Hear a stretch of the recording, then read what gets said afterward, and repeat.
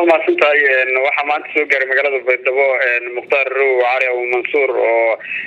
maanta yimi magaalada baydhabo isagoona ka imaaday degmada xudur ee gobolka bakool. Markii uu imaaday magaalada baydhabo kadib waxau hadda kulamo uu la qaadanayaa saraakiil ka tirsan ciidamada maamulka koonfur galbeed soomaaliya iyo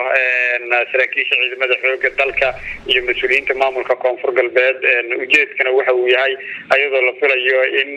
dhawaan isku dhafyo lagu sameeyo ciidanka sheekh mukhtaar row aw mansuur isaga u gaarka ah iyo sidoo kale ciidamada maamulka koonfur galbeed soomaaliya dhawaanahanba waxaa socday qorsho lagu mideynayo labada ciidan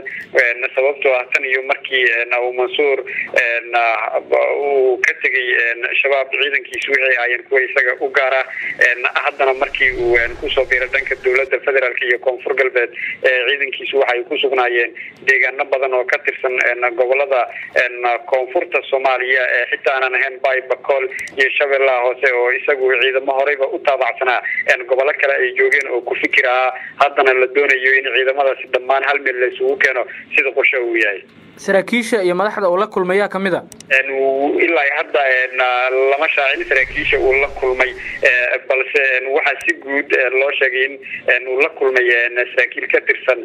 maamulka koonfur galbeed oo si gaara la doonayo in loo mideeyo ciidanka koonfur galbeed iyo kuwa sheekh mukhtaar row aw mansuur